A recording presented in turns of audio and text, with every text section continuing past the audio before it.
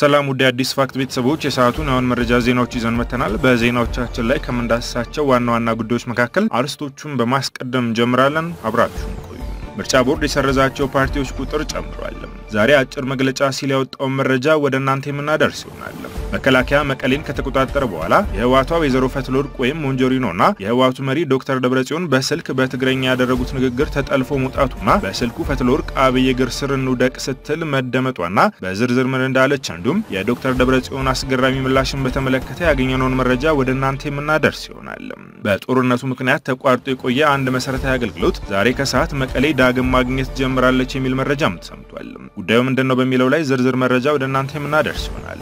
የቤንሻንጉል ጉሙዝ ክልል ምክር ቤት ነገ አስቸኳይ ጉባኤ ሊያደርግ መሆኑን ተከትሎ በምን አጀንዳ ላይ እንደሚነጋገርም ታውቋል። ጣሊያን በአዲስ አበባ በሚገኘው ኤምባሲዋ ለዓመታት የቆዩት የቀድሞ ባለስልጣናት ነፃ መውጣታቸውን ተከትሎ ድምጿን አሰምታለች።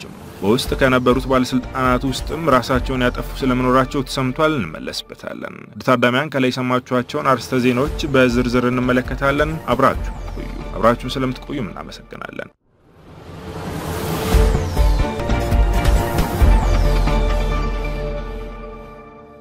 በትግራይ ክልል ውድመት ለደረሰባቸው ፋብሪካዎች ወትሮ ከሚመደበው ውጭ 45 በመቶ የውጭ ምንዛሬ በብሔራዊ ባንክ በኩል እንደተዘጋጀላቸው ተነገረም። በትግራይ ክልል በነበረው ሕግ የማስከበር ዘመቻ ወቅት በርካታ ፋብሪካዎች ለውድመት መዳረጋቸው ባለሀብቶች አስታውቀዋል። በርካታ ቁጥር ያላቸው ፋብሪካዎቹ ከ50 በመቶ እስከ 90 በመቶ የሚጠጋው ክፍላቸው ለውድመት መዳረጉን ለሚመለከተው አካል ያሳውቁ ሲሆን በአፋጣኝ ወደ ስራ የምንገባበት መንገድ መንግስት ያመቻችልን ብለዋል። ጉዳዩን የሚመለከተው የንግድና ኢንዱስትሪ ሚኒስቴር በነበረው ሕግ የማስከበር ዘመቻ ውድመት ደርሶባቸዋል የተባሉ ፋብሪካዎች ለመገምገም መሞከሩን ተገልጿል።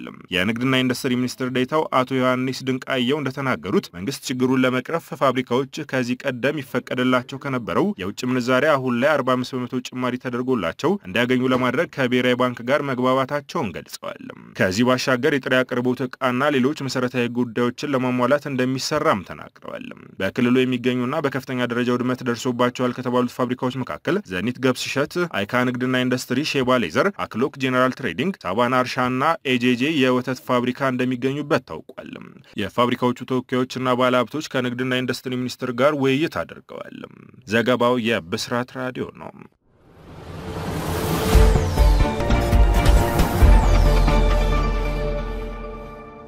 የቤንሻንጉል ጉሙዝ ክልል ምክር ቤት ምክትል አፈ ጉባኤ ወይዘሮ አለምሸት ይባስ ምክር ቤቱ በነገው ዕለት ታህሳስ 20 ቀን 2013 ዓ ም በአሶሳ ከተማ አስቸኳይ ጉባኤውን ያካሂዳል ብለዋል። በመተከል ዞን በተደጋጋሚ በዜጎች ላይ የሚፈጸሙ ማንነትን መሰረት ያደረገ ጭፍጨፋ የጉባኤው ትኩረት እንደሚሆን ነው ምክትል አፈ ጉባኤ ያስታወቁትም። ምክር ቤቱ ከመተከል ዞን የዜጎች ጭፍጨፋ ባለፍም በሌሎች ክልላዊና ሀገራዊ ወቅታዊ ጉዳዮች ላይ ውይይት እንደሚያደርግ ገልጿል። ከሰሞኑ በመተከል ዞን ቡለን ወረዳ ከ200 በላይ ንጹሐን በማንነታቸው ተለይተው መጨፍጨፋ ቸውን የሚታወስ ሲሆን በዜጎች ላይ በተደጋጋሚ እየተፈጸመ ያለውን ይህንን ጭፍጨፋ ለማስቆም መንግስት የጸጥታ ኃይል መላኩን መግለጹ ይታወሳል። በመተከል ዞን ቡለን ወረዳ በኩጂ ቀበሌ ታህሳስ 13 ቀን 2013 ዓ ም ከሌሊቱ 10 ሰዓት ጀምሮ በአሰቃቂ ሁኔታ የተገደሉ ሰዎች ቁጥር 207 መድረሱን የኢትዮጵያ ሰብዓዊ መብቶች ኮሚሽን ኢሰመኮ ከሚመለከታቸው አካላት ጋር ባደረገው ክትትል ማረጋገጡን ታህሳስ 16 አሳውቆ ነበር። በንጹሐን ላይ ማንነትን መሰረት ያደረገው ግድያ የተፈጸመው ጠቅላይ ሚኒስትር አብይ አህመድ በፓዊ ከህብረተሰቡ ጋር ውይይት አድርገው በተመለሱ ማግስት ነበረም።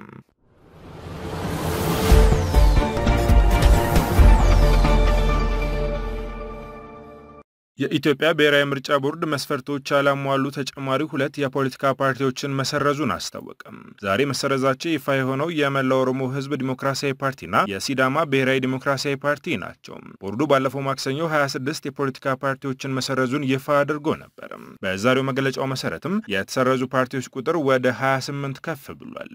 የኦጋዴን ብሔራዊ ነጻ አውጪ ግንባር ኦብነግን ጨምሮ የኢትዮጵያ ምርጫ ቦርድ ከዚህ ቀደም የተጓደሉ መስፈርቶችን እንዲያሟሉ መመሪያ ከሰጣቸው 12 ፓርቲዎች መካከል አራቱ የሚጠበቅባቸውን አሟልተው መገኘታቸውን ዛሬ አረጋግጧል። ፓርቲዎቹ የኦጋዴን ብሔራዊ ነጻ አውጪ ግንባር፣ የአፋር ህዝብ ፓርቲ፣ የጋሞ ዲሞክራሲያዊ ፓርቲና የአፋር ነጻ አውጪ ግንባር ፓርቲ ናቸው። በዚህም በኢትዮጵያ ብሔራዊ ምርጫ ቦርድ የማጣራት ሂደታቸው የተጠናቀቀ ፓርቲዎች ቁጥር 44 ደርሷል።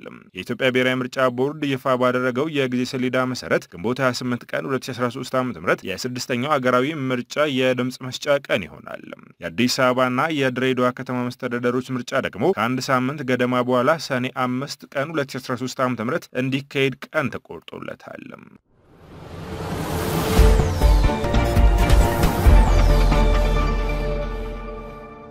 በመቀሌ ከተማ የባንክ አገልግሎት መሰጠት ተጀመረ ተባለ።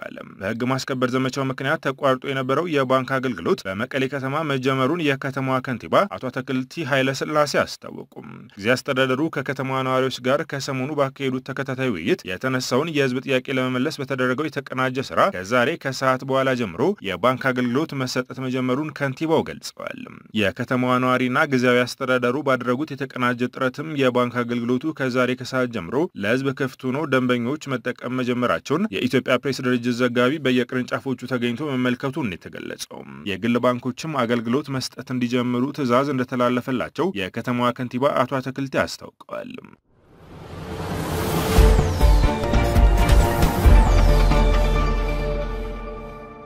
የፖለቲካ ምሁሩና የመጀመሪያው የገለልተኛ ብሔራዊ ምክር ቤት አባል የሆኑት ዶክተር ዲማ ነገው እኔ በእርቅና በመግባባት አምናለሁ፣ በሰሜኑ የሀገራችን ክፍል ችግር ይፈጥር ከነበረው ቡድን ጋርም በተለያየ ደረጃ ለዓመታት ውይይትና ድርድር በማድረግ የተካፈልኩባቸው መድረኮች አሉ። ይህ ቡድን ጉልበተኛ ነው፣ በድርድርና በመግባባት እንዲሁም ሰጥቶ በመቀበል የሚያምን አልነበረም ብለዋል። ይህን ቡድን ካለፉት 30ና 40 ዓመታት በላይ ከነበረ ልምድ ተነስቼ ባህሪውን ያስተዋልኩት ጉዳይ ነው ያሉት ዶክተር ዲማ አሁን በትግራይ ውስጥ ያለው ትውልድ ከዚህ ቡድን ሌላ መንግስት የሚያውቅ አይደለም። ከመቶ 85 የሚሆነው ህዝብ አይምሮ የተሞላው በዚህኛው ቡድን ፕሮፓጋንዳ ነው። እናም የዚህም ቡድን አመለካከት የፖለቲካ ይዘቱንና የመሳሰለውን ከህዝቡ አይምሮ ማውጣት ያስፈልጋል ብለዋል። በእርግጥ ባለፉት ዓመታት የነበረውን ስናስተውል አገሪቱን ያስተዳድር የነበረው አንድ ፓርቲ ብቻ ነበር። ህዝቡ የመረጣቸው ሳይሆኑ ሸገር ላይ ተቀምጠው ሲያስተዳድሩ የነበሩት የአንድ ፓርቲ ካድሬዎች ናቸው ብለዋል። በእርግጥ የብልጽግናን መርሃ ግብር እንዳየሁት ከሆነ ደግሞ የፌዴራሊዝም ስርዓት እንቀይራለን የሚል ጽንሰ ሀሳብ አላገኘሁበትም። ለአብነት ያክል በቅርቡ አስረኛ ክልል እንደመመስረቱ አስራ አንደኛ ክልል የሚቀጥል ስለመሆኑ አመላካች ነው። ይህም የሚያጠራጥር ነገር የለውም። የብልጽግና ፓርቲም ቢሆን ይህን ነገር ባይፈልግ ኑሮ ውሳኔውን ያሳልፍ ነበር ብለዋል። የገለልተኛ ብሔራዊ የኢኮኖሚ ምክር ቤት አባል በመሆኔ ባገኘሁት ልምድ፣ በተማርኩት ትምህርትና ባደረግኩት ምርምር በጥቅሉ ባለኝ ልምድ በተቻለ መጠን በቀሪው ዕድሜ የምችለውን ሁሉ ለማድረግ ዝግጁ ነኝም ብለዋል። በዚህ ምክር ቤት ውስጥ የምናበረክተው አስተዋጽኦ ሁሉ ነጻ አገልግሎት ነው ያሉት ዶክተር ዲማ ሁላችንም በምክር ቤት ውስጥ እንድንሳተፍ ስማችን የተጠቀሰ ሁሉ የተማርነው በህዝብ ሀብት ነው። ትምህርት ቤት አስገብቶ ፊደል እንድንቆጥር እድሉን ያመቻቸልንና ውጭም ሀገር ድረስ ልኮ እንድንማር ያስቻለን ይህ ድሃ ህዝብ ነው ነው ያሉት። ያገኘነው እውቀት ይህ ህዝብ ከኑሮ ቀንሶ በማካፈሉ ነው። በመሆኑም የዚህ ህዝብ ኑሮ እንዲሻሻል በሚደረገው እንቅስቃሴ ሁሉ ያለንን አስተዋጽኦ ለማበርከት ግዴታም አለብን ብዬ አምናለሁ ብለዋል። አሁን ያለው ሁኔታ አሳሳቢ ነው። ምክንያቱም የትምህርት ደረጃው እየወደቀ ነው። አሁን እየወጣ ያለው ትውልድ ግማሽ ትምህርት የተማረ ነው ማለት ይቻላልም ብለዋል። በኢትዮጵያ ውስጥ የተረጋጋና ዲሞክራሲያዊ የፖለቲካ ስርዓት ለመገንባት ቢያንስ ሁለት ነገሮች ያስፈልጋሉ ያሉት ዶክተር ዲማ አንደኛ ገለልተኛ የሆነ አገሪቷንና ህዝቡን የሚያገለግል የመንግስት ስርዓት፣ ሁለተኛ ዲሞክራሲያዊ ስርዓት ለመገንባት የሚያስችል ምርጫ ነው ነው ያሉትም። በእኔ አስተያየት በሀገራችን እስካሁን ድረስ የፖለቲካ ፓርቲዎች የሉም። የፖለቲካ ቡድን ሊኖር ይችላል። ነገር ግን ሰፊውን ህዝብ በአግባቡ ሊያንቀሳቅስና ሊያነሳሳ የሚችሉ የፖለቲካ ፓርቲዎች ገና አልተፈጠሩም ብለዋል።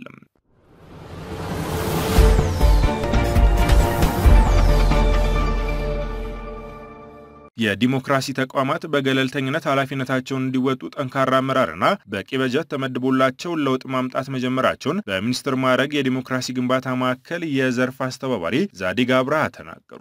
አቶ ዛዲግ አብርሃ ከኢዚያ ጋር በነበራቸው ቆይታ ኢትዮጵያ ዲሞክራሲን ለቅንጦት ሳይሆን በውስጡ ያለውን ብዝሃነት በአግባቡ ለማስተናገድ የምትጠቀምበት ብቸኛ አማራጭ መሆኑን የገለጹትም ከለውጡ በኋላ መንግስት ህዝቡ የጠየቀውን እውነተኛና ትክክለኛ የዲሞክራሲ ስርዓት በኢትዮጵያ ተግባራዊ ለማድረግ ቅድሚያ ሰጥቶ እየሰራ መሆኑንም ተናግረዋል።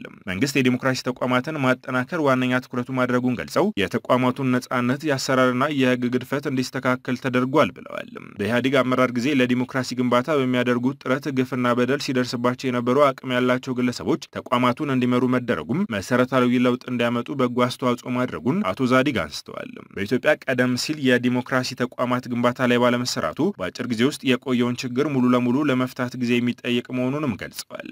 ሆኖም ሀገራዊ ለውጡን ተከትሎ የዲሞክራሲ ተቋማት የነበራቸውን የአሰራር ችግር አስተካክለው ከህዝቦች ጎን መቆም ጀምረዋል፣ ትልቅ ለውጥም አስመዝግበዋል ነው ያሉትም። መንግስት ጠንካራ የዲሞክራሲ ተቋማት እንዲፈጠሩና ህዝቡን እንዲያገለግሉ ፍላጎት እንዳለውም ገልጸዋል። መንግስት ለተቋማቱ አስፈላጊውን ድጋፍ እያደረገ መሆኑንም ነው ያረጋገጡትም። የዲሞክራሲ ስርዓት ግንባታ በአንድ አካል ብቻ የሚሳካ ባለመሆኑ የሁሉም ጥረትና ድጋፍ ያስፈልጋል ብለዋል ሲል የዘገበው ኢዜአ ነው።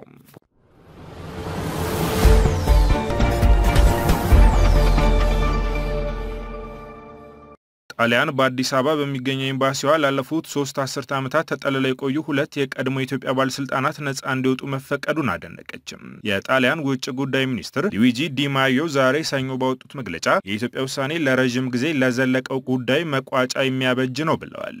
የቀድሞ የኢትዮጵያ ጠቅላይ ኤታማዦር ሹም አዲስ ተድላና የውጭ ጉዳይ ሚኒስትር የነበሩት ብርሃኑ ባይህ በ1983 ዓ ም ደርግ ከስልጣን ወርዶ በኢህአዴግ ሲተካ ነበር በኤምባሲው ከለላ የተሰጣቸው። በኤምባሲው ከተጠለሉ የደርግ ባለስልጣናት መካከል አንዱ የነበሩት የቀድሞ ጠቅላይ ሚኒስትር መንግስቱ ይመኑ በዚሁ ዓመት ራሳቸውን አጥፍተዋል። ሌላው ከፍተኛ ባለስልጣን ጀኔራል ተስፋዬ ገብረ ኪዳን ደግሞ በጎርጎሮሲያኑ 2004 ዓ ም በዚያው በኤምባሲው ሳሉ ህይወታቸው አልፏል። አዲስ ተድላና ብርሃኑ ባየህ ከዚህ በላይ ነጻነታቸውን ገድቦ ማቆየቱ የፍትህ ዓላማን ከማሳካት አንጻር የሚጨምረው ውጤት ባለመኖሩ እንዲሁም ከፍርደኞቹ ዕድሜና ጤና አንጻር የሰብአዊነት እይታን ከግምት በማስገባት በግለሰቦቹ ላይ ተወስኖ የነበረው የሞት ፍርድ ወደ ዕድሜ ልክ ጽኑ እስራት እንዲቀየር ለርዕሰ ብሔር ሳህለወርቅ ዘውዴ ምክረ ሀሳብ ቀርቦ ተቀባይነት እንዳገኘ የኢትዮጵያ ጠቅላይ አቃቤ ሕግ ባለፈው ሳምንት አስታውቋል።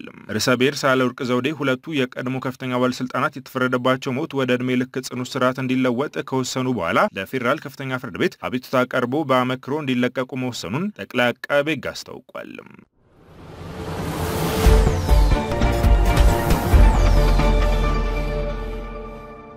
ጋዜጠኛ አርያ ተስፋ ማርያም ከፋና የወቅታዊ ፕሮግራም ጋር በነበረው ቆይታ ከህዋቷ ሰው ወይዘሮ ፈትለወርቅ ወይም ሞንጀሪኖ አብይን እግሩ ስርም ቢሆን ወድቀን ይቅርታን ጠይቀው ብላ ነበር ሲል ተናግሯል።